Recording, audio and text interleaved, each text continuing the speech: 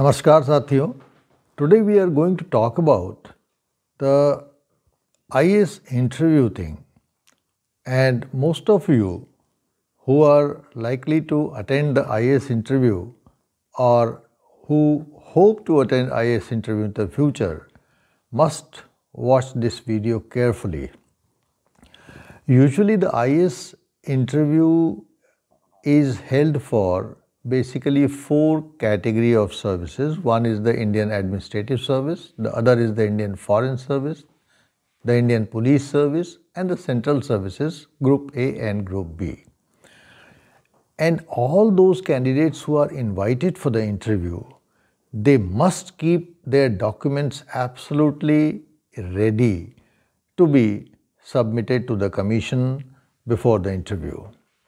And those who are claiming reservation benefits or any kind of relaxation, they have to be very careful because they have to produce certificates which are made before the you know closing date for the preliminary examination. So you must check up that all the certificates that you are going to submit to the commission for reservation or any relaxation are in order. And finally, all the documents about preferences, etc., they preferences of services, etc., they have to be, you know, online uploaded. And those who will not be giving their preferences, they shall not be, you know, uh, considered for any allotments uh, uh, to the services. So this is very important and before you uh, you know decide to rush to Delhi or go to UPSC for interview all these things should be uh, taken into consideration. Now coming to the main thing as soon as the written examination is declared of the main examination uh, we have the final uh, you know bout and that is the viva or the interview which is the last leg of the civil services examination. What I have seen is is that normally it is the number of candidates which is almost twice the number of posts. So you, sh you should know the number of posts and you can anticipate how many candidates will be uh, you know invited for the interview. And obviously you know that 50% will be selected and 50% will have to wait for the next year. Uh, the, the good thing about the interview is that there is no qualifying marks for the interview and even if you get a zero in the interview and you have good marks in the written examination, then you are selected. So that should not be a worry. Minimum qualifying marks, they are not to be worried at all, but you would must try to uh, give a good performance in the interview so that your rank gets, uh, you know, improved. However, the board has, ah, the one important thing which you should keep in mind that whatever marks you have obtained in the theory papers, written examination, IAS main examination, optionals and uh, GS, they are not disclosed to the interview board members and therefore they do not know what is your position in, through the uh, uh, written examination. Uh, uh, they have only your academic profile before them and therefore they can ask questions based on your academic profile and the options that you have taken or they can ask any question which they think like asking. Now today what I am going to do is to give you some sense of the entire this drama which I call interview or viva voce which we call interview or viva voce. The first, my first advice to you would be that most of the candidates, as soon as they clear the main examination, they get into panic. And the panic is of many varieties, many kinds. They do not know how to prepare for the viva, how to prepare for the interview. They are worried about their dress. They are worried about what, how to prepare, what to read. Uh, and they are almost, you know, confused as to how to go about UPSC before their uh, interview. So all those worries, you know, they are uh, genuine, but you should understand that you should not worry much about the interview. And some of the candidates, they are also worried about which board they are going to face. You obviously, nobody can tell you that to which board you are going to face. But normally people are worried, candidates are worried. Forget about all those things. There are some candidates who are very conscious about the dress, they will go for new dresses, new shoes, new everything. No. I my advice would be that you just wear a normal dress that is with you and which you have already had used several times so that you can feel normal. And you know sometimes we try to be very uh, you know uh, showy or we are very ornamental dresses. No, that is not, let dress not be a subject of discussion in the interview board. That is very important. Secondly, you are not sure what kind of questions the interviewers will ask and therefore you start running from pillar to post asking people what kind of a questions your seniors uh, or others who have uh, qualified earlier, you are running to them what kind of questions. Of course, all those things you have already, you know, uh, inquired when you were preparing for the IAS examination earlier. But once the election, elect, once the results of the main examinations are disclosed and you are invited for the uh, interview, you are not supposed to run from the pillar pillar to post and just be cool. And uh, of course, Many people indulge into some readings, reading fresh books, novels, this and that. You are not supposed to read anything between your uh, main examination and the interview. Uh, uh, just be relaxed and some people even rush to Delhi to attend several mock interviews and doesn't you know uh, work and they, you in fact lose your originality. So my advice would be relax. Once you have received a letter of invitation from the UPSC for the interview, just relax and focus on whatever knowledge you have gathered from your childhood. Try to recollect what you know and try to see that what are your uh, existing knowledge, uh, uh, you know, uh, treasure. So that is very important because you have been virtually preparing for the childhood for this day, for the interview, and nothing special is required to be prepared. This you will certainly realize when you go to the interview board that nothing that you read between the main examination and the interview works. It doesn't work at all. Of course, you should continue to read the newspaper, the magazine in a relaxed manner, watch the TV for the current affairs programs and other things of your interest, your hobbies, your whatever uh, is there. But that should be a routine uh, reading and routine watching kind of a thing. So of course, you, you try to revise your fundamentals uh, uh of the optionals. Of course, since you have taken optional as a, a subject that can, uh, the, the, the questions can be framed on the optionals. So these things you have to keep in mind. And also tries to anticipate expected and unexpected questions from the interviewer like why you want to join IAS. This is a very very uh, normal kind of a question why you want to join IAS. So there has to be some standard answer but then try to be genuine about because everybody would be talking the same thing the social service this national service there are so many ways to do that but try to be honest in your uh, responses.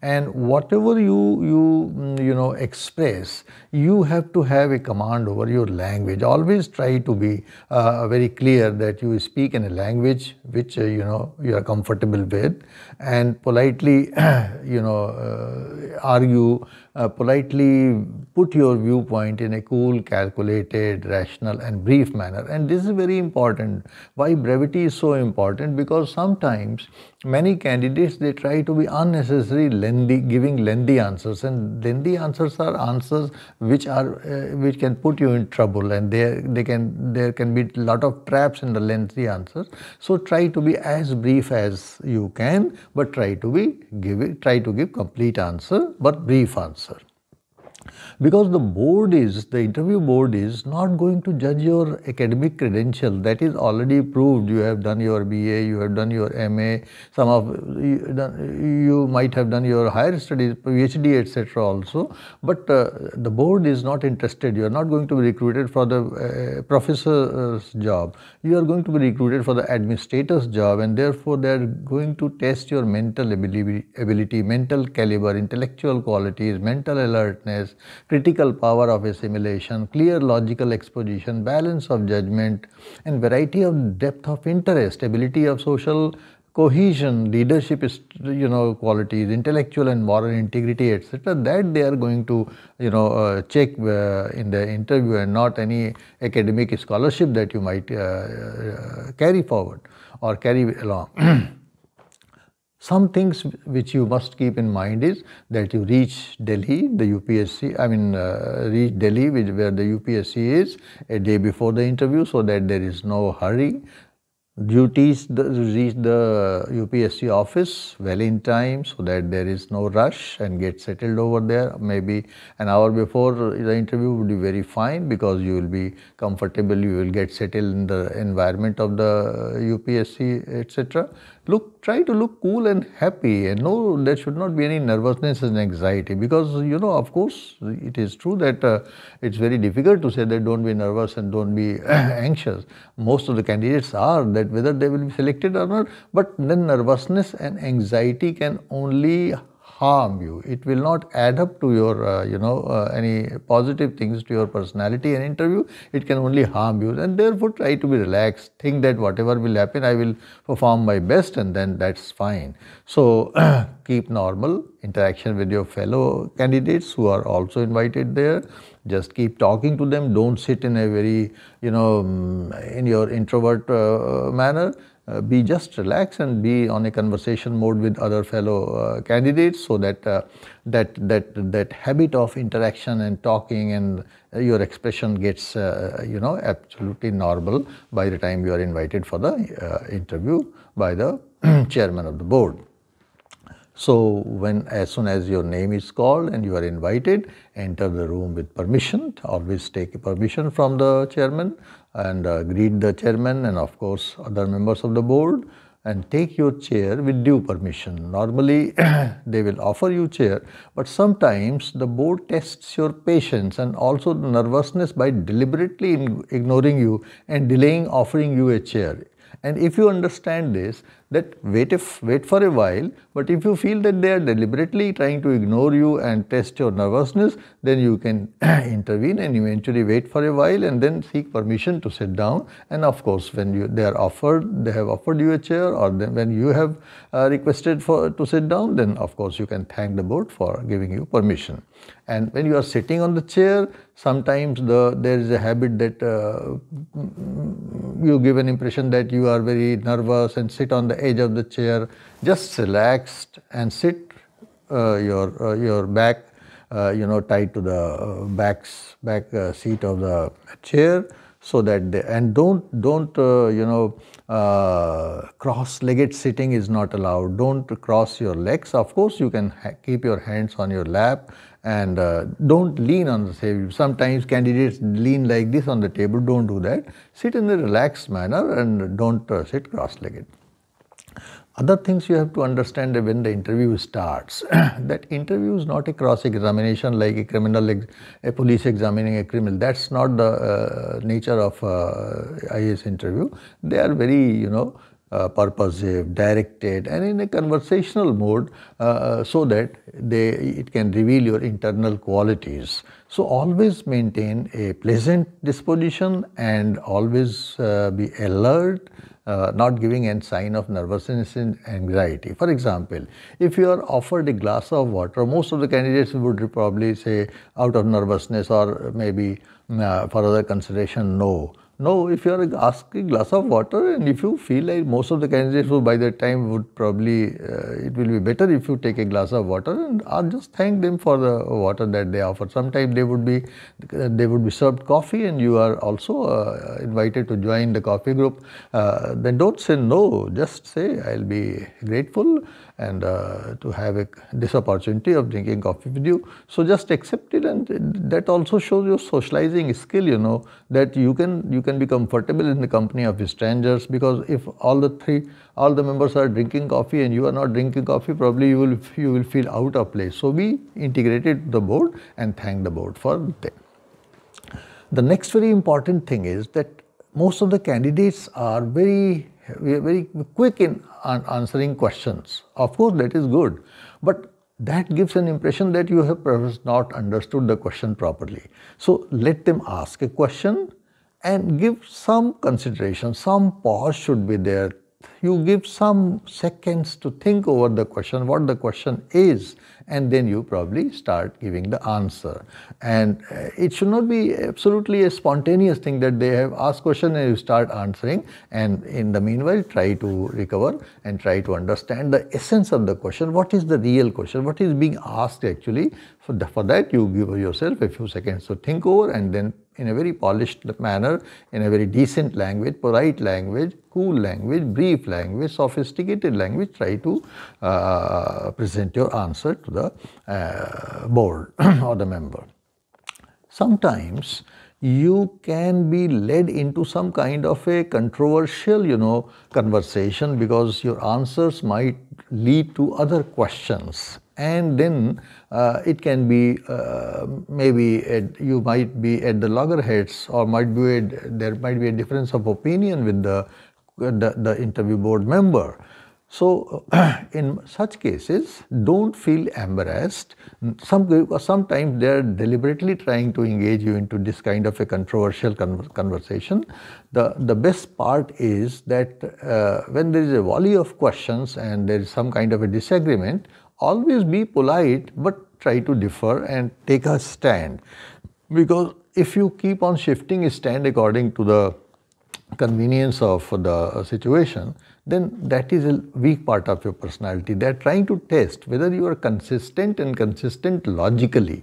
So, be polite, be consistent, be logical and hold on to your uh, intellectual uh, you know position that also shows your intellectual integrity but sometimes you can also appreciate the disagreement and uh, you know even while sticking to your viewpoint you can appreciate the, uh, the, the pointers of the interview board member. And if you see really that there is a logic and there is a convincing point in the uh, in the arguments of the member of the board then you can thank them and for correcting yourself. And then you can be i mean i mean these are very normal conversational styles that we normally follow in day to day life that we try to argue we try to rationally put our point of view but then we, if we understand that no the other party has a better point then we politely accept it and thank him for correcting yourself correcting us. Also do not try to get irritated nor annoyed or nor you try to irritate the members of the board. Because you see being a disagreement is one thing but giving an annoying reply an irritating reply is bad. Because ultimately you are in the board and you are there to get some marks for your selection which will either get you into IAS or maybe get you out of the entire uh, team which finally gets selected.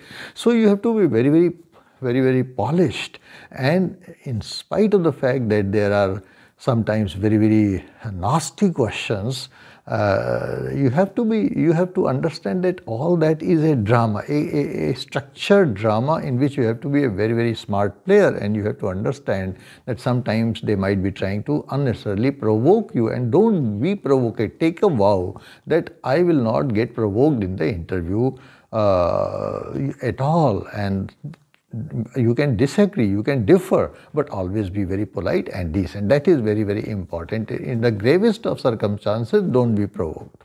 Because all provocation is deliberate drama. Always keep maintain, always maintain your composure, always keep smiling, uh, give due respect to all the members, but don't get provoked. Don't give, give an impression that you are feeling irritated or you are feeling annoyed.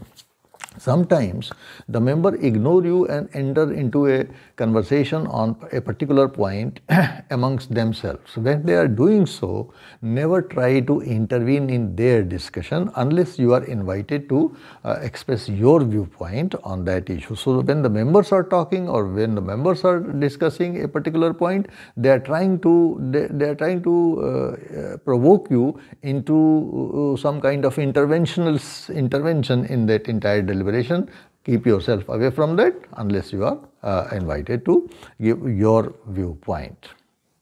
And finally, that if you don't know the answer of a question, then please politely say that sir, I am sorry, I don't know. Apologize for your ignorance. There is no wrong in that and don't feel embarrassed at all because nobody in the world can answer each and every question. So if a couple of questions which you don't know or which you can't answer, just uh, stay away and apologize for your ignorance on that. And of course, sometimes your ignorance can be mixed with a humor and uh, humor, you know, is something which the board very much appreciates because sometimes very difficult situations uh, you might win the heart of the opposition by your humor. If, even if you don't uh, wish to answer uh, even if you don't wish to do the work of the person who has come to you as administrative officers. But in doing this never cross the limits of the decency. That is very important.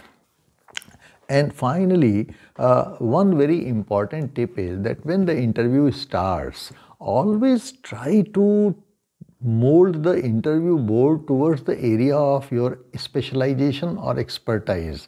Initially try to use some words or try to do something so that the attention of the board members uh, is drawn to your area, your expertise, your experience, etc. And there you can excel, of course. And uh, if the members enlighten you still, because members are very, very learned and very, very experienced people. So if they still enlighten you on something or, uh, or help you attain the clarity, certainly you can always thank them.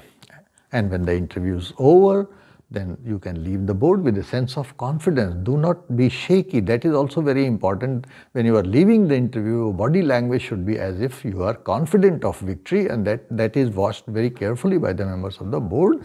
And when you are leaving, the wish each and every member, the chairman each and every member of the board before you uh, leave. And finally, when you are out of the room, you are asked to write a short resume of what has gone interact, what kind of interaction has gone and what is your take on the entire deliberation uh, during that uh, 30 40 minutes so that you can write in a simple and lucid language uh, and then just go away and enjoy because uh, then of course you have done your job and it is the only time will tell whether uh, how the things have gone for you and hopefully I wish that uh, you come out successfully even in the interview board. So uh, these are some brief uh, tips uh, for you and I wish all those who are appearing in the IAS interview a grand success. Thank you very much.